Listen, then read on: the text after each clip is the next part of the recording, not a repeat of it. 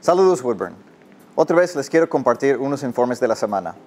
Nos reunimos con nuestros líderes de organizaciones de apoyo y han identificado la mayor necesidad en nuestra comunidad en estos meses es la comida y es surgiendo donar al Banco de Alimentos Aware.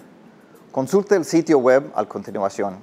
Nuestro equipo comunitario de respuesta, CERT Team, se desplegará la próxima semana para entregar cajas de comida a los que necesitan. La Iglesia Luterana Emmanuel reempezó las cenas comunitarias todos los miércoles por la noche de 5 y media a 7.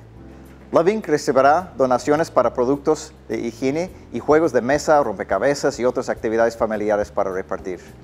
Puede ponerse en contacto con ellos en el sitio web o en el número de teléfono abajo. Y recuérdele que a cualquiera que necesita ayuda, Loving es el número para contactar. Woodburn Proud está poniéndose en marcha formas de honrar nuestra personal médica y otros héroes de la comunidad. Si desea donar a los letreros, máscaras protectores de tela, a quienes están en el frente, puede hacerlo en la página de Facebook de Woodburn Proud.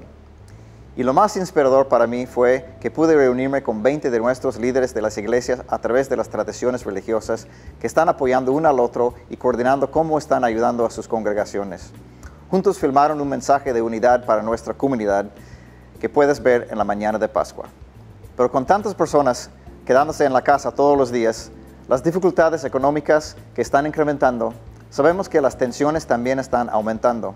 Le pedí al representante estatal Teresa Alonso León que les hablara sobre este tema.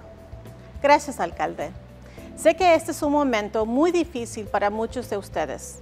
Así que quiero recomendarlos a todos que hagan lo posible para reducir el estrés para ustedes y su familia. Con los niños en casa sintiéndose ansiosos, es un momento importante para hablar con ellos acerca de sus sentimientos y tranquilizarlos.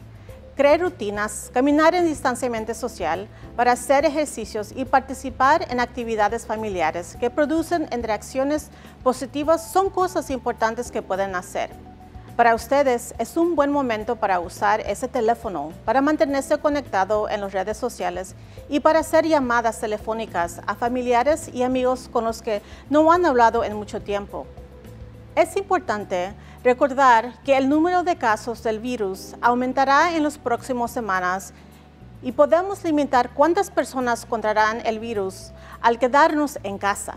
Mientras Oregon ha tenido mucho éxito en aplanar la curva, porque todos ustedes no están reuniéndose en grupos más allá de su familia inmediatamente y están manteniendo distancia social cuando necesitan salir.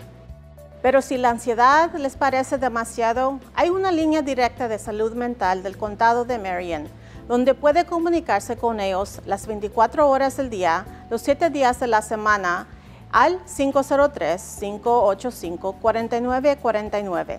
Si conoce a alguien en una relación o situación difícil, comuníquese y conéctese con ellos. Comuníquese con su amiga o miembro de la familia, especialmente si no lo han visto. Ayúdalos a administrar las redes sociales para conectarse con otros apoyos y ofrézcales ayuda y recursos. Sabemos que superaremos este momento difícil y que mientras es muy importante que hagamos todo lo posible para ser cariñosos y positivos con todos aquellos a quienes vivimos en los espacios cerrados durante estos próximos meses. Muchísimas gracias.